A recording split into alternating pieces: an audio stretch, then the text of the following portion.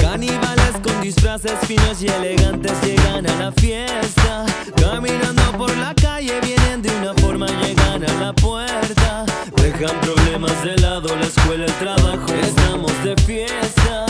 Las manos arriba, los ojos encima. ¿Dónde está mi presa? Si tu mujer tiene